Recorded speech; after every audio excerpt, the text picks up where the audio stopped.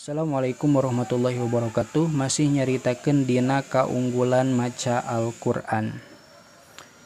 Gandeng jeng sora anu ker ker ngebor ya teh atau ker naonnya ker lah.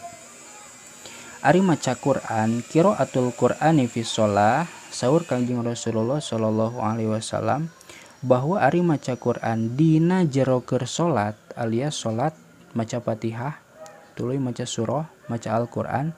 Eta teh lebih utama min atil Quran fi ghairi sholat. Maca Quran dina waktu ker salat dina jero salat eta teh lebih utama daripada maca Quran di luar salat tuluy wa atul Quran fi ghairi jeng ari maca Quran dina luar salat tadarus eta afdolu minat takbir wa tasbih. Lebih utama daripada takbir jeng tasbih maca Allahu Akbar jeng maca subhanallah. Wa takbir wa tasbih abdalu. Iya maca takbir jeng tasbih galawih utama. Minas sodakoti tinimang sodako.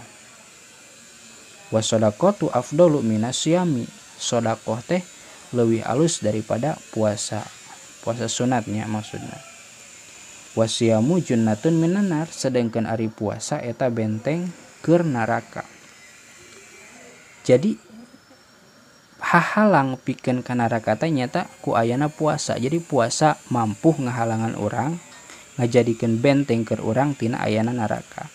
Lamun puasa eta kakara puasanya. Lamun sodako lebih alus deui da sodako lebih alus daripada puasa. Maca takbir jeng tasbih lebih alus deui. Sebab takbir jeng tasbih lebih utama daripada sodako maca Quran tadarus lebih alus deh sebab tadarus maca Al-Quran di luar sholat lebih alus daripada takbir je tasbih.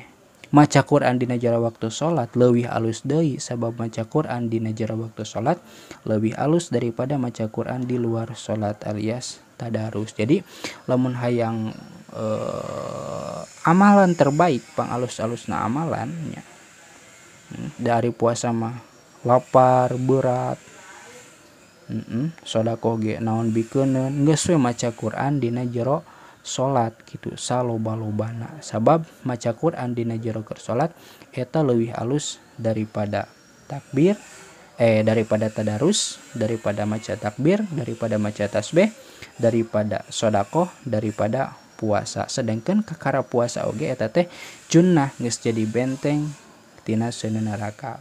Kada fil jami' sogir kitu nu diceritakeun dina kitab Al-Jami'us Shogir. Assalamualaikum warahmatullahi wabarakatuh.